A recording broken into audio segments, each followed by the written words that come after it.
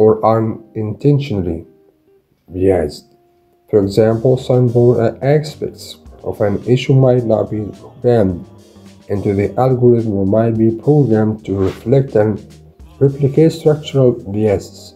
In addition, the use of numbers to represent complex social reality could make the AI seem factual and precise when it isn't. This is sometimes referred to as math washing. If not done properly, AI could lead to decisions influenced by data on ethnicity, sex, age, when hiring or firing, offering loans, or even in criminal proceedings. AI could severely affect the right to privacy and data protection. It can be, for example, used in face recognition equipment or for online tracking and profiling of individuals. In addition, AI enables merging pieces of information a person has given into new data, which can lead to results the person would not expect. It can also present a threat to democracy. AI has already been planned for creating online echo chambers based on a person's previous online behavior, displaying only content a person would like, instead of creating an environment for pluralistic, equally accessible and inclusive and consensual public debate.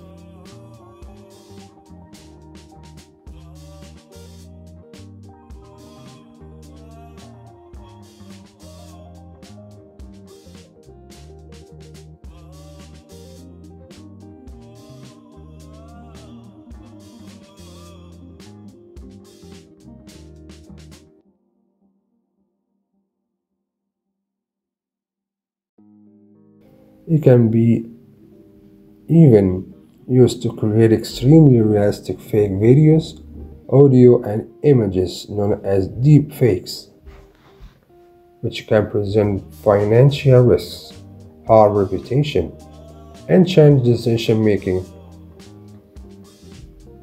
All of this could lead to separation and polarization in the public sphere and manipulate elections. AI could also play a role in harming freedom of assembly and protest, as it could track and profile individuals linked to certain beliefs or actions. To prevent bias, the AI Act requires that the data sets used to train AI as complete and free of errors as possible. It also regulates the use of certain AI applications that may threaten citizens' rights. For example, the use of biometric identification systems by law enforcement is prohibited expected in some narrow, narrowly defined cases. The AI Act also introduced as a requirement that artificially created or manipulated images, audio or video content, deepfakes, should be clearly and visibly labeled as such. AI impact on jobs. Use of AI in the workplace is expected to result in the elimination of a large number of jobs. Though AI is also expected to create and make better jobs, education and training will have a crucial role in preventing long-term unemployment and ensure a skilled workforce.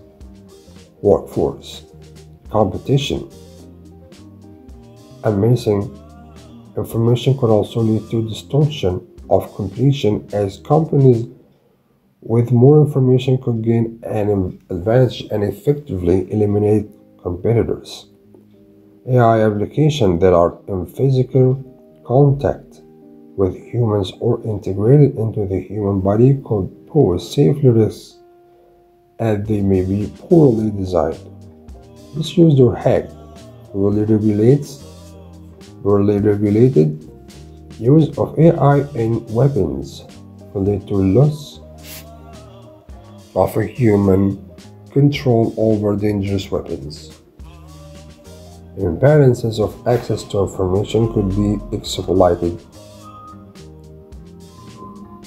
For example, based on persons' online behavior or other data and without their knowledge, an online vendor can use AI to predict someone is willing to pay or a political campaign can adapt their message. Another transparency issue is that sometimes it can be unclear to people whether they are interacting with AI or a person. The AI Act tackles these challenges by regulating the use of AI to prevent manipulating human behavior, deception, or exploiting people's vulnerabilities.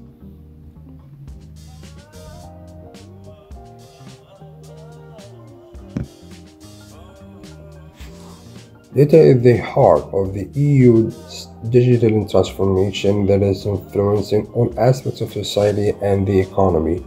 It's necessary for the development of artificial it's necessary for the development of AI, which is one of the EU's priorities and presents significant opportunities for involving for innovation and growth, for example in health and green technologies. Responding to the European Commission's the Parliament called for legislation focused on people based on European values of privacy and transparency. That will be enable Europeans and EU-based companies to benefit from the potential of industrial and public data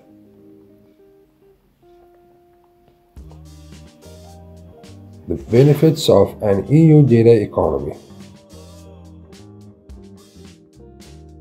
In Parliament's view, there is a need for efficient data legislation that will support research and innovation, large quantities of quality data, notably non-personal, industrial, public, and commercial, already exist in the EU and their full Potential is yet to be explored.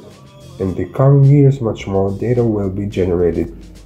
Data legislation should help tap into this potential and make data available to European companies, including small and medium sized enterprises and researchers, enabling data flow between sectors and countries will European businesses of all sizes to innovate and thrive in Europe and beyond and help establish the EU as a leader in the data economy.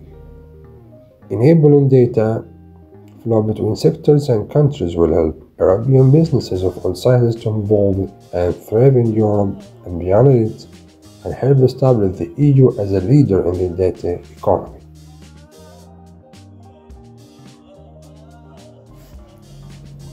Europe's global competitors such as the US and China are innovating quickly and applying their ways to data access and use. To become a leader in the data economy, the EU should find a European way to unleash potential and set standards. standards. Rules to protect privacy, transparency, and fundamental rights. Parliament insists that rules should be based on privacy, transparency, and respect for the fundamental rights. The free sharing of data must be limited to non personal data or irreversibly anonymized data. Individuals must be in full control of their data and be protected by the EU data protection rules. Parliament's report urged the Commission and EU countries to work with other countries on global standards to promote EU values and principles and ensure the Union's market remain competitive. European data spaces and big data infrastructure, calling for the free flow of data to be the guiding principle. MEPs encouraged the Commission and EU countries to create sectoral data spaces that will enable the sharing of data while following common guidelines, legal requirements, and protocols. And the success of the data strategy depends largely on information and communication technology infrastructure. MEPs call for accelerating technological developments in the EU such as cybersecurity technology, optical fibers, 5G and 6G, and welcomed proposals to advance Europe's role in supercomputing and quantum computing. They warned that the digital divide between regions should be tackled to ensure equal possibilities.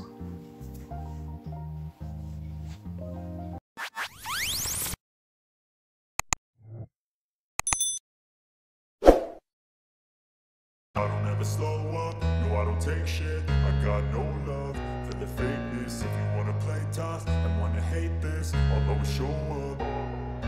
I don't ever slow up, no I don't take shit. I